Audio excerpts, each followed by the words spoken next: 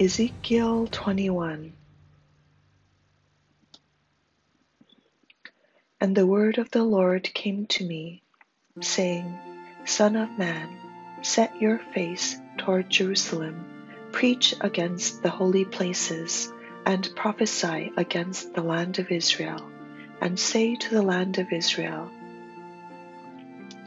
Thus says the Lord, Behold, I am against you, and I will draw my sword out of its sheath, and cut off both righteous and wicked from you because I will cut off both righteous and wicked from you, therefore my sword shall go out of its sheath against all flesh from south to north, that all flesh may know that I, the Lord, have drawn my sword out of its sheath.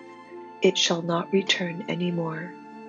Sigh, therefore, Son of Man, with a breaking heart, and sigh with bitterness before their eyes and it shall be, when they say to you, Why are you sighing?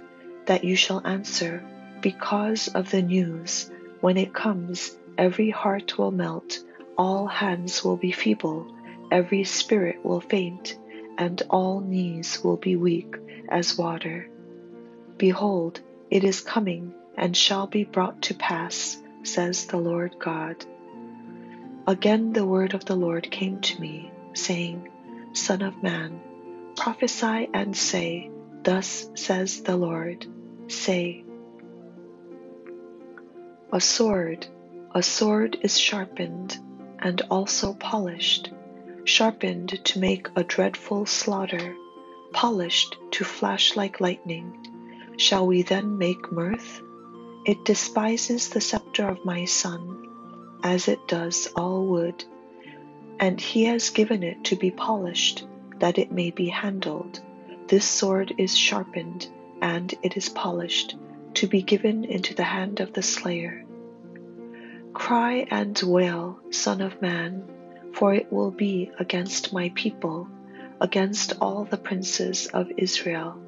Terrors, including the sword, will be against my people. Therefore, strike your thigh because it is a testing.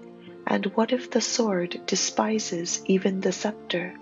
The scepter shall be no more, says the Lord. You therefore, Son of Man, prophesy, and strike your hands together. The third time let the sword do double damage. It is the sword that slays, the sword that slays the great men, that enters their private chambers I have set the point of the sword against all their gates, that the heart may melt and many may stumble. Ah, it is made bright, it is grasped for slaughter. Swords at the ready, thrust right, set your blade, thrust left, wherever your edge is ordered. I also will beat my fists together, and I will cause my fury to rest I, the Lord, have spoken. The word of the Lord came to me again, saying, And Son of man, appoint for yourself two ways for the sword of the king of Babylon to go. Both of them shall go from the same land. Make a sign, put it at the head of the road to the city. Appoint a road for the sword to go to Rabbah of the Ammonites, and to Judah into fortified Jerusalem. For the king of Babylon stands at the parting of the road, at the fork of the two roads, to use divination. He shakes the arrows, he consults the images, he looks at the liver. In his right hand is the divination for Jerusalem. To set up battering rams, to call for a slaughter, to lift the voice with shouting, to set battering rams against the gates, to heap up a siege mound, and to build a wall. And it will be to them like a false divination in the eyes of those who have sworn oaths with them. But he will bring their iniquity to remembrance, that they may be taken. Therefore, thus says the Lord God because you have made your iniquity to be remembered, in that your transgressions are uncovered, so that in all your doings your sins appear, because you have come to remembrance, you shall be taken in hand. Now to you, O profane, wicked prince of Israel, whose day has come, whose iniquity shall end, thus says the Lord God. Remove the turban and take off the crown, nothing shall remain the same. Exalt the humble, and humble the exalted. Overthrown, overthrown, I will make it overthrown. It shall be no longer, until he comes whose right it is, and I will give it to him.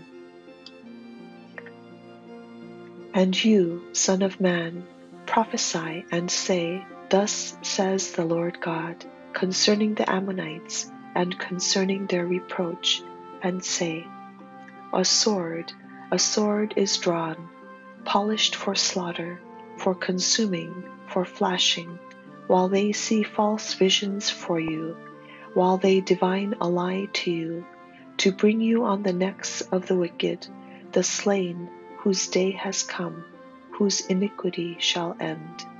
Return it to its sheath I will judge you in the place where you were created, in the land of your nativity. I will pour out my indignation on you. I will blow against you with the fire of my wrath, and deliver you into the hands of brutal men who are skilful to destroy. You shall be fuel for the fire. Your blood shall be in the midst of the land.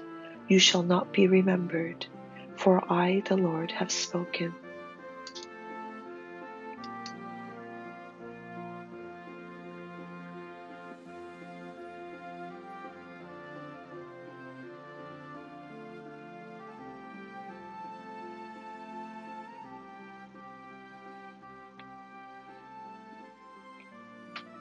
에스겔 21장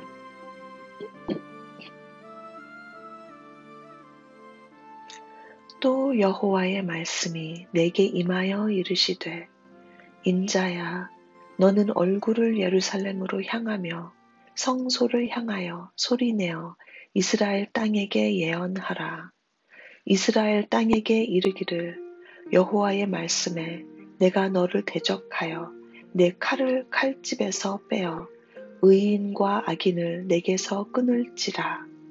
내가 의인과 악인을 내게서 끊을 터이므로 내 칼을 칼집에서 빼어 모든 육체를 남에서 북까지 치리니 모든 육체는 나 여호와가 내 칼을 칼집에서 빼낸 줄을 알지라 칼이 다시 꽂히지 아니하리라 하셨다 하라 인자야 탄식하되 너는 허리가 끊어지듯 탄식하라. 그들의 목전에서 슬피 탄식하라. 그들이 내게 묻기를 내가 어찌하여 탄식하느냐 하거든 대답하기를 재앙이 다가온다는 소문 때문이니 각 마음이 녹으며 모든 손이 약하여지며 각 영이 쇠하며 모든 무릎이 물과 같이 약해지리라. 보라, 재앙이 오나니 반드시 이루어지리라 주 여호와의 말씀이니라 하라. 여호와의 말씀이 또 내게 임하여 이르시되 인자야 너는 예언하여 여호와의 말씀을 이같이 말하라. 칼이여 칼이여 날카롭고도 빛나도다. 그 칼이 날카로움은 죽임을 위함이요 빛남은 번개같이 되기 위함이니 우리가 즐거워하겠느냐. 내 아들의 규가 모든 나무를 업신 여기는도다. 그 칼을 손에 잡아 쓸만하도록 빛나게 하되 죽이는 자의 손에 넘기기 위하여 날카롭고도 빛나게 하였도다 하셨다 하라. 인자야, 너는 부르짖어 슬피 울지어다. 이것이 내 백성에게 임하며 이스라엘 모든 고관에게 임함이로다. 그들과 내 백성이 함께 칼에 넘긴 바 되었으니 너는 내 넓적 다리를 칠지어다. 이것이 시험이라 만일 업신 여기는 규가 없어지면 어찌할까? 주 여호와의 말씀이니라. 그러므로 인자야, 너는 예언하며 손뼉을 쳐서 칼로 두세 번 거듭 쓰이게 하라. 이 칼은 죽이는 칼이라. 사람들을 둘러싸고 죽이는 큰 칼이로다. 내가 그들이 낙담하여 많이 엎드러지게 하려고 그 모든 성문을 향하여 번쩍번쩍하는 칼을 세워 놓았도다. 오호라, 그 칼이 번개 같고 죽이기 위하여 날카로웠도다. 칼아, 모이라, 오른쪽을 치라, 대열을 맞추라, 왼쪽을 치라, 향한 대로 가라. 나도 내 손뼉을 치며 내 분노를 다 풀리로다. 나 여호와가 말하였노라. 여호와의 말씀이 내게 임하여 이르시되 인자야 너는 바벨론 왕의 칼이 올 두 길을 한 땅에서 나오도록 그리되 곧 성으로 들어가는 길 어귀에다가 길이 나뉘는 지시표를 하여 칼이 암몬 조속의 라빠에 이르는 길과 유다의 견고한 성 예루살렘에 이르는 길을 그리라. 바벨론 왕이 갈래길 곧 두 길 어귀에 서서 점을 치되 화살들을 흔들어 우상에게 묻고 희생제물의 간을 살펴서 오른손에 예루살렘으로 갈 점괘를 얻었으므로 공성퇴를 설치하며 입을 벌리고 죽이며 소리를 높여 외치며 성문을 향하여 공성퇴를 설치하고 토성을 쌓고 사다리를 세우게 되었나니 전에 그들에게 맹약한 자들은 그것을 거짓 점괘로 여길 것이나 바벨론 왕은 그 죄악을 기억하고 그 무리를 잡으리라. 그러므로 주 여호와께서 이같이 말씀하셨느니라. 너희의 악이 기억을 되살리며 너희의 허물이 드러나며 너희 모든 행위의 죄가 나타났도다. 너희가 기억한 바 되었은즉 그 손에 잡히리라. 너 극악하여 중상을 당할 이스라엘 왕아, 내 날이 이르렀나니 곧 죄악의 마지막 때이니라. 주 여호와께서 이같이 말씀하셨느니라. 관을 제거하며 왕관을 벗길지라 그대로 두지 못하리니 낮은 자를 높이고 높은 자를 낮출 것이니라.